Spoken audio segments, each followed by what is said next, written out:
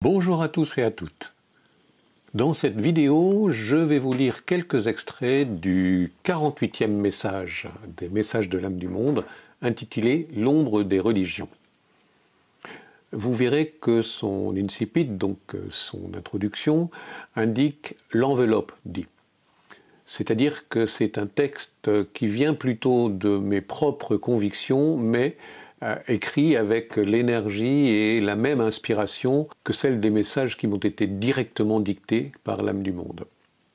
C'est la raison pour laquelle vous trouverez à l'intérieur de ce texte quelques concepts liés à la psychologie, puisque c'était ma spécialité antérieure. Dans d'autres textes, l'âme du monde appuie plus précisément sur les différences entre les voies religieuses et les voies spirituelles, mais celui-ci se limite plus au piège des voies religieuses.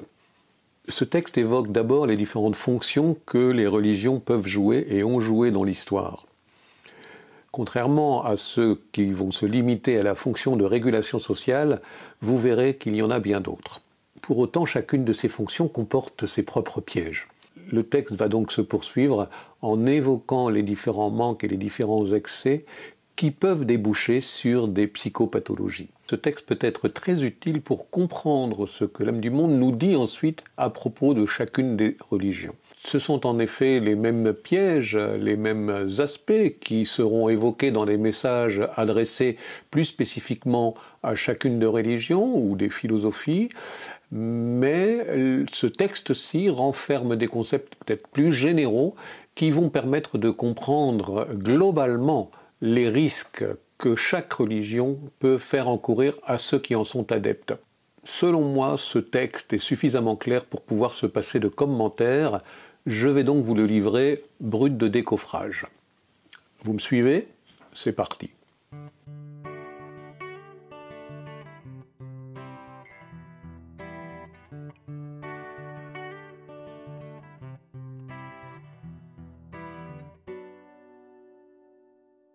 Message 48 L'ombre des religions.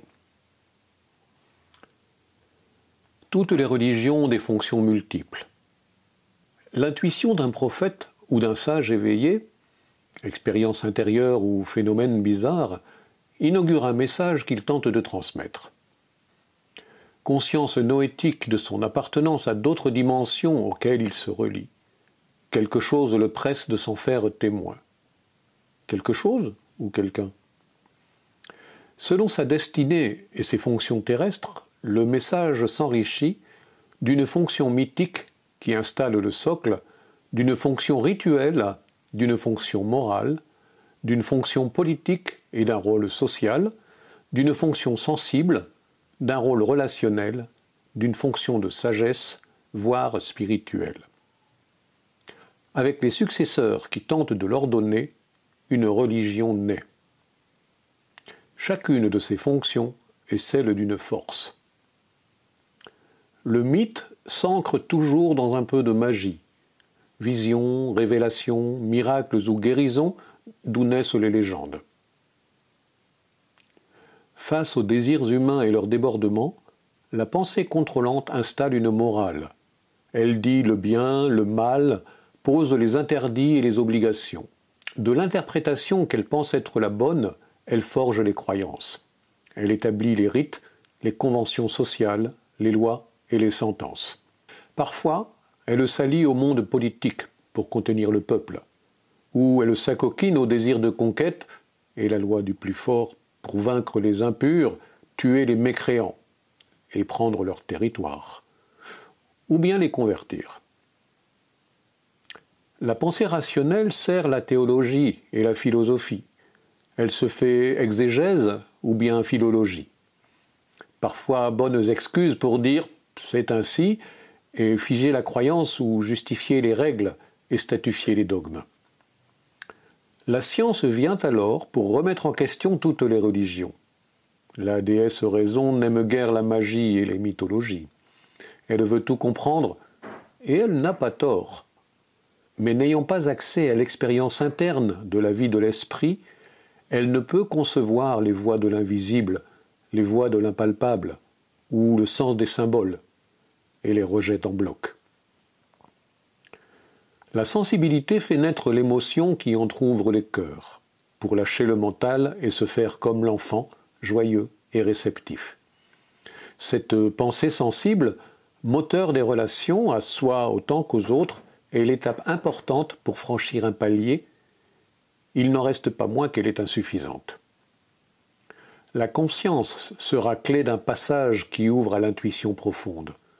Le vide que l'on sent plein pour passer de l'ego aux élans de l'essence, de la terre à la source, de ce qui fut croyance et devient expérience. À cette attention-là, les livres anciens exhortent écoute ou veillez donc, car sans franchir sa porte, on connaît l'univers, la porte étant dedans. Comme en tout être humain, en toute religion se mélangent ses voix, et il n'est pas facile d'y conserver bon ordre. Chacun, selon la force qui prévaudra en lui, en saisira un sens ou une conviction qu'il mettra en avant, poussé par son ego ou par ses intérêts. C'est ainsi qu'apparaissent tous les nouveaux courants qui entretiennent alors toutes les divisions. Les ombres de l'ego rarement dues au manque, mais plutôt aux excès, s'appliquent aux religions. En visant l'idéal, on veut la pureté, on méprise l'impur, qui sera l'étranger, ou le manquement aux règles. Revers de la médaille, face cachée du bien, pour compenser les manques, on tombe dans les excès. Illusoire pureté. Le monde est imparfait et l'humain avec lui. Attendant le grand soir, la venue d'un Messie, la grande délivrance, certains se créent un monde de surréalité, au-dessus du réel, dans lequel ils s'installent plutôt que d'accepter le monde tel qu'il est et regarder en eux pour trouver l'équilibre entre polarité et y trouver leur place entre réalité et quête d'idéal. Nombreuses sont les raisons d'entrer dans le déni, la croyance imbécile ou le refoulement de ce qui est péché. De là naissent les hontes, les haines, les violences, contre soi tout d'abord, ou bien contre les autres si elles sont projetées. Pour peu qu'un chef habile, un sergent recruteur ou un fier prosélyte trouve les mots qu'il faut envers les plus fragiles ou bien les plus crédules, ils grossissent les rangs des pires intégristes, des sectes fanatiques, des soldats de la foi prêts à se sacrifier ou sacrifier l'impur au nom de leur prophète, qui n'a pas voulu ça. Que vous suiviez la croix, l'étoile de David, ou bien celle au croissant, ou tout autre symbole, les lois psychologiques ont les mêmes résultats. Tout excès d'un registre crée un déséquilibre qui, se perpétuant, devient pathologie. À cet endroit, le texte s'accompagne d'un schéma qui nous montre quatre grands axes correspondant à des domaines de vie. Je vous laisse regarder l'intitulé à l'intérieur de chacun des axes.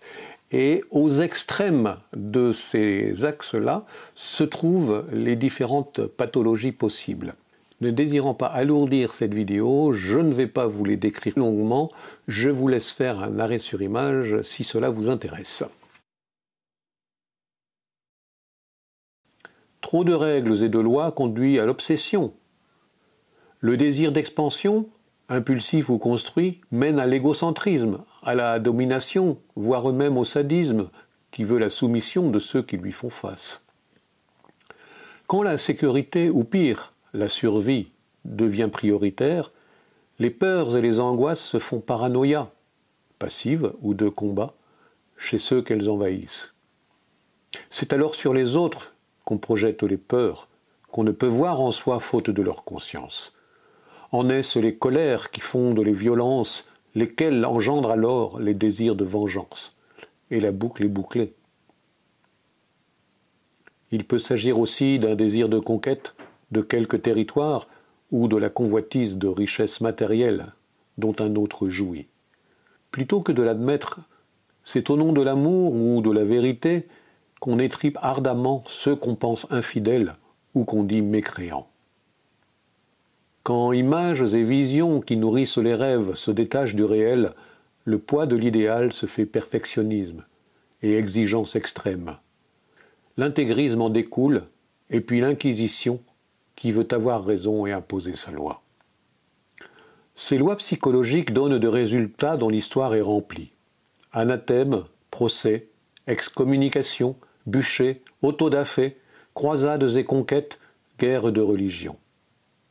Les religions du livre, malgré qu'elles partagent des racines communes et un unique Dieu, en sont passées par là et y passent encore.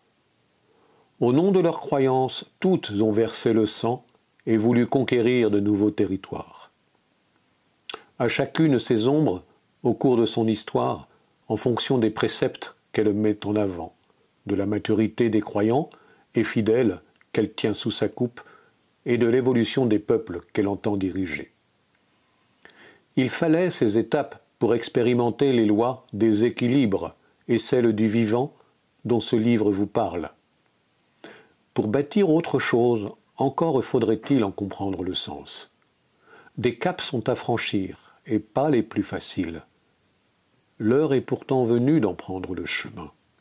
Ceux qui encore attendent qu'un Messie tout-puissant vienne changer le monde en un tour de magie feraient mieux d'écouter, et ce dès aujourd'hui, les messagers de l'âme et d'en tirer parti.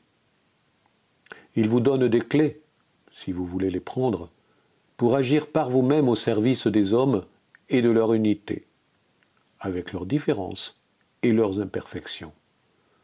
Ça commence en vous-même pour pouvoir se répandre.